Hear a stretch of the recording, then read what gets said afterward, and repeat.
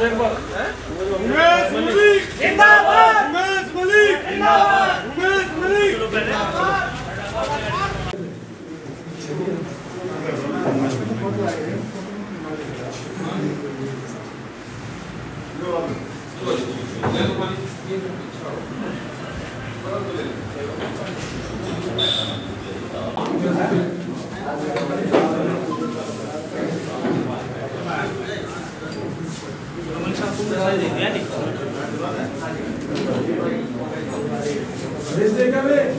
पानी का आया कोई है। क्या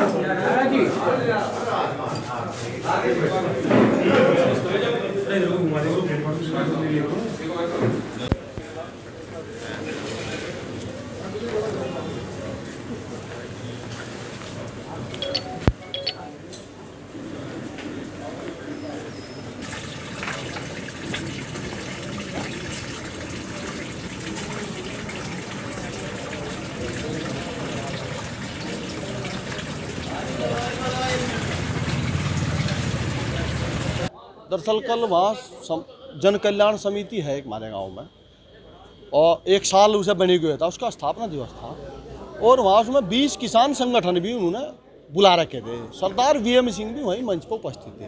मान्य उमेश मलिक जी, विधायक जी को उन्होंने आमंत्रित किया था, हमें भी आमंत्रित किया था। हम सब लोग वहाँ थे।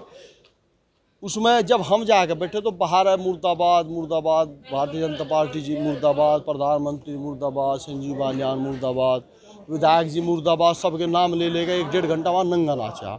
हम बाहर आए तो हमने देखा, नरेंद्र टिकैत, जो राकेश टिकैत के छोटे भाई हैं, वे बीस पच्चीस गुंडू को ले गए, वहाँ आ रहे थे। जब वहाँ से विधायक जी को हमने कहा कि आप गाड़ी से लेकर निकल जाओ, हम भी विधायक जी के साथ थे तो गाड़ी पर काला तेल डाल लगा, आग लगाने की कोशिश करी, और उन असामाजिक तत्वों ने लाठी डंडे लेकर हमें जान से मारने का प्रयास करा। अब क्या प्रतिक्रिया इस पर है प्रतिक्रिया यह है हमने रिपोर्ट दर्ज कर दी है कानून में हमारी आस्था है कानून अपना काम करेगा और नहीं करेगा तो हम अगला निर्णय फिर लें। गिरफ्तारी को लेकर पहले भी अब मैं गाँव में हूँ नहीं मैं कह नहीं सकता पंचायत के बारे में। सिसोली में जिला प्रशासन जो है हाथ डालने से कतराता है क्योंकि इससे पहले कई बड़े हंगामे गिरफ्तारी को लेकर हुए। इसमें आप क्या कहेंगे कि अगर गिरफ्तारी ना हो पाई आरोपियों की तो आगे का स्टेप क्या होगा? देखो सिसोली की बात यह है गलती हमारी है हम ही लोगों ने फाट माश दे के यू जो गैंग तैयार कर रखा और यू आज मार पर लगा तो हमें बुरा लगा और गेल कर रहे थे हम भी नहीं नहीं ठीक हो रहा। ठीक है नहीं मारी गैल आज यू हमें यू गलत लगा। अगर गिरफ्तारी नहीं होगी तो आगे की बैठकर रणनीति बना ली जाएगी। सारा परिवार है सारा संगठन है जैसे तय होगा वो आपको बता देगा। नाम का मेरा नाम हरपाल शर्मा जी। गोपाल जी विधायक जी के साथ घटना हुई है। देखिए जी ये बहुत घिनौनी घटना हुई और हम तो ऐसा बहुत घिनौनी मानना है जी। हम ब्राह्मण समाज से हैं, पर जो कुछ भी आए, वहाँ बहुत घिनौनी घटना हुई जी। विधायक साहब के साथ में। ये विरोध नहीं है। कुछ अराजक तत्व किसान के नाम पर, किसान यूनियन के नाम पर, किसान संगठनों के नाम पर अराज, वो राजनीति करना चाह रहे हैं और उन्होंने ठेका लिया हुआ है। वो लोग लोकदल समाजवादी पार्टी के सपोर्टर हैं, वहाँ से उन्हें फंडिंग हुई हुई है और वो भारतीय जनता पार्टी का इस नाम पर विरोध करते हैं।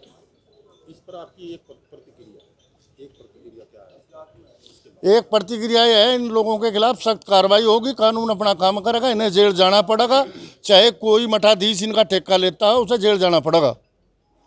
कार्रवाई नहीं होती तो क्या उसमें? नहीं कार्रवाई होगी नहीं होने का कोई मतलब ही नहीं है। कार्रवाई होगी जेल जाएँगे।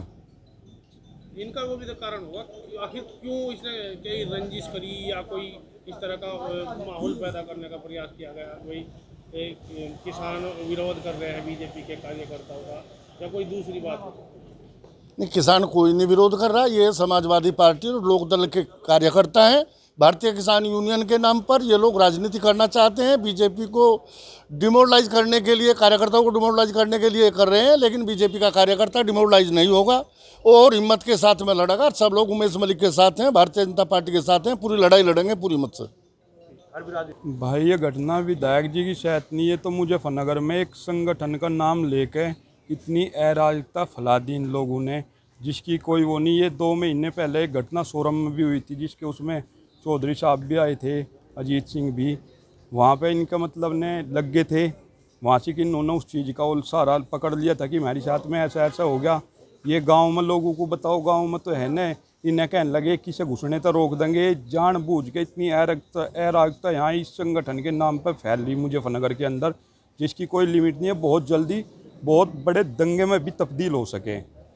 ऐसा माहौल इन्होंने यहाँ पे बना दिया। अच्छा, किस तरह का रोष लोगों में है? इतना रोष है जी लोगों में अगर कल प्रशासन बीच में ना होता तो बहुत स्थिति खराब हो जाती। और जो हमारे माननीय विधायक जी हैं मंत्री जी हैं डॉक्टर संजीव बालियान जी ये ना रोकते पब्लिक को तो बहुत बड़ी घटना इस ज़िले में कल घटित होगी थी। उन्होंने अपनी तरफ़ से कोई कमी छोड़ी नहीं।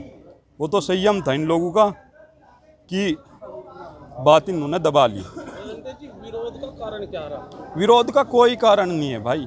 विरोध का कारण है इनकी लोकप्रियता। अब उन्होंने चुनाव तो लड़के देख लिए, उसमें तो कुछ होता नहीं। दो बार चुनाव लड़ लिए, दस हज़ार वोट नहीं मिलती। ये है ना मेन कारण। अब बताओ, कहीं स्थापना दिवस है, वहाँ सीख जा रहे। माननीय विधायक जी बुला रखे, गाँव वालों ने सम्मान कर रहे। उनकी साथ में सी घटना घटित होना तो आप देखो, आम कार्यकर्ता का यहाँ क्या हो रहा होगा। अभी थोड़े दिन पहले ही भोरा कला थाने पे ही तिरंगा झंडा उतार के वहाँ पर सिर्फ़ उन इंस्पेक्टर साहब की इतनी गलती थी कि उन्होंने वहाँ से जाकर मुंड पर पुल पर चलान काट दिए थे बाइकों के। वहाँ पर धरना फेर दिया संगठन के नाम पे। वहाँ तक तिरंगा झंडा उतार दिया गया, वहाँ एक संगठन का झंडा लगा दिया गया।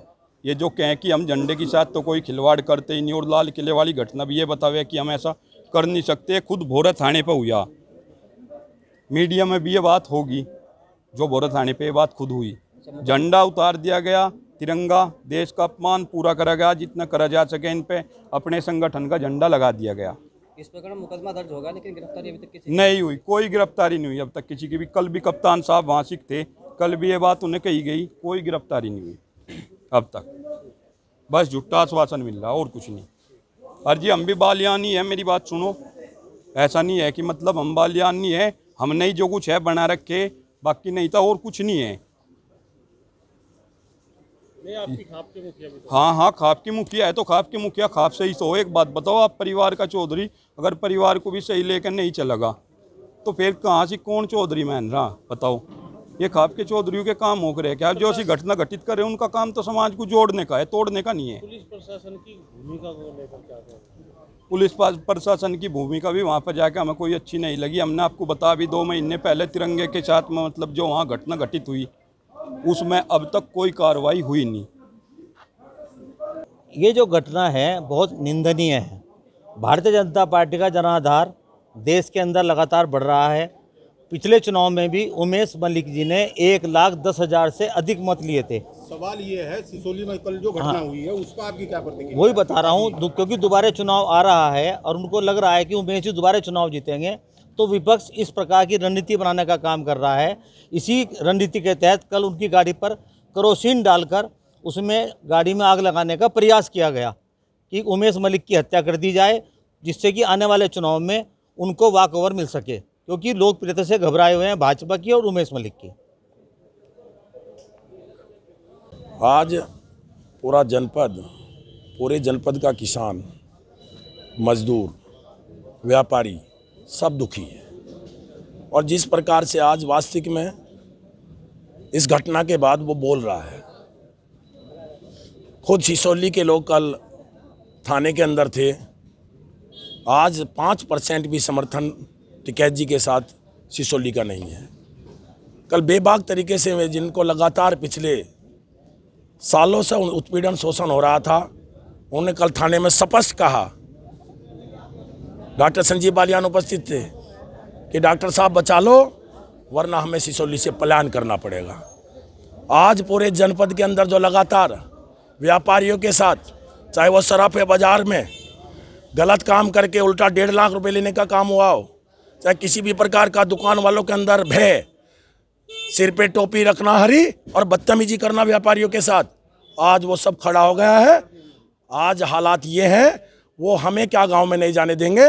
यूनियन के लोगों को गाँव में शहरों में आना मुश्किल हो जाएगा। इस प्रकार का वातावरण आज ज़िले के अंदर बनता जा रहा है।